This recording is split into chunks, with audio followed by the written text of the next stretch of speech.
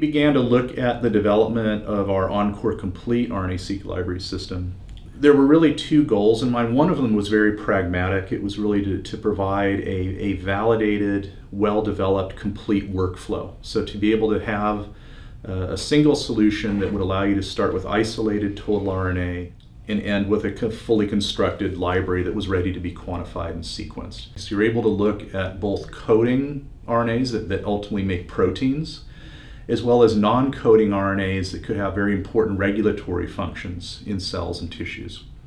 The more technically demanding aspect of that product, and really the, I would say the, the demand that was, was in the marketplace from what we were hearing from our customers, was to enable people to look at strand-specific RNA-seq.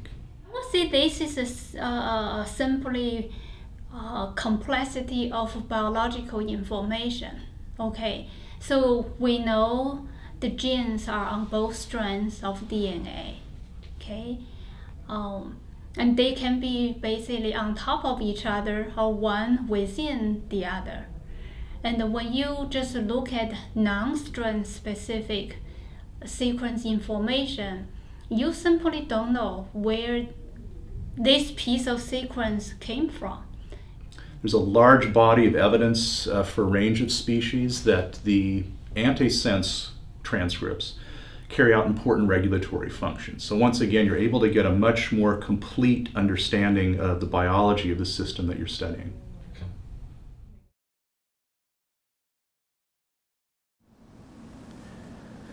The RNA-seq methods that have been developed at NuGen rely on three novel approaches to produce strand-specific libraries with reduced ribosomal RNA content. Selective priming of first-strand cDNA synthesis enriches for coding and regulatory transcripts through the use of an optimized pool of primer sequences. The pool of primers has been selected to maximize the priming of coding and regulatory RNAs. The species used to design the set were human, mouse, rat, chicken, and frog. This set also works well with other vertebrates such as zebrafish. It is not recommended for lower eukaryotes in the animal kingdom, such as Drosophila and C. elegans, nor should it be used for plants or prokaryotes.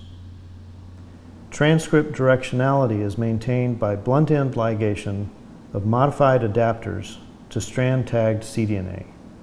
The sequence data that results from the strand-specific library is highly enriched for reads in the sense orientation.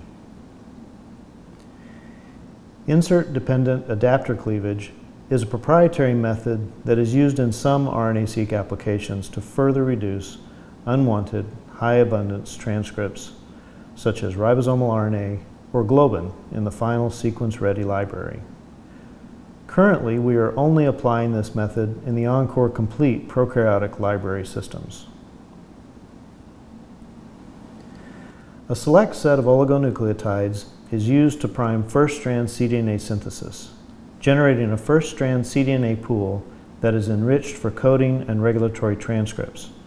For clarity, we are showing only a single oligo priming reverse transcription.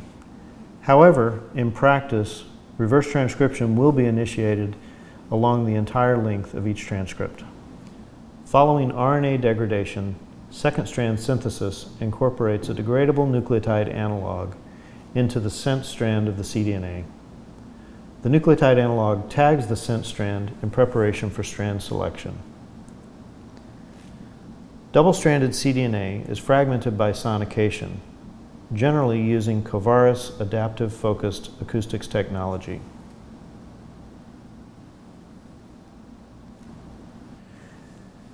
The keys to the strand specificity of the RNA-seq methods are our unique forward and reverse adapters. By tagging the ligation strand of the forward adapter with the same degradable nucleotide analog used in the sense strand of the cDNA, we ensure that only a single directionally conserved orientation of the cDNA insert will produce sequence data. Following end repair, modified forward and reverse library adapters are ligated to the fragmented cDNA. During blunt end ligation, the forward and reverse adapters can be ligated to the cDNA fragments in two orientations. Base excision and denaturation eliminates sequences containing the nucleotide analog. leaving a single directionally conserved orientation that retains both forward and reverse adapters. Only molecules with both a forward and reverse adapter can be amplified during library enrichment, resulting in a sequence library almost exclusively in the sense strand orientation. Final library enrichment using forward and reverse adapter PCR primers generates a sense strand ribosomal RNA depleted library ready for sequencing.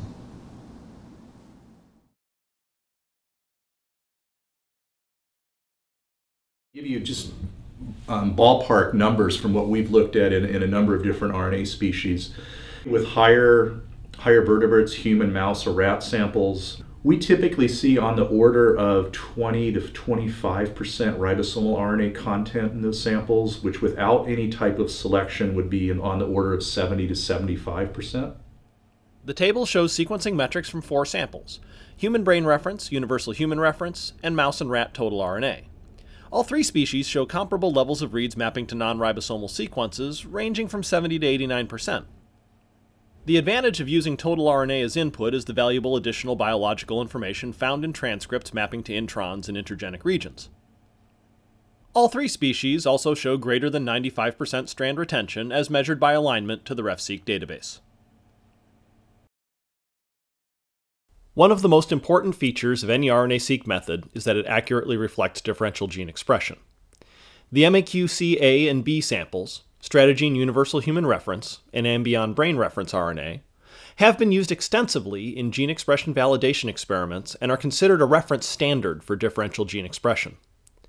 Nugen generated RNA-seq differential expression data from these samples with ENCORE Complete, here plotted on the x-axis as the difference in RPKM values, and compared that data to the log ratios from 659 TaqMan assays from the original MAQC report from 2006.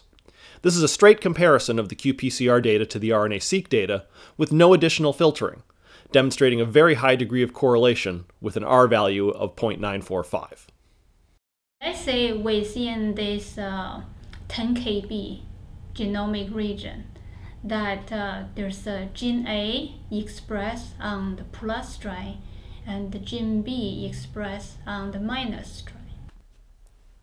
In this view of the genome, Two genes, parathymosin 1 and myeloid leukemic factor 2, map within 10 kilobases of each other.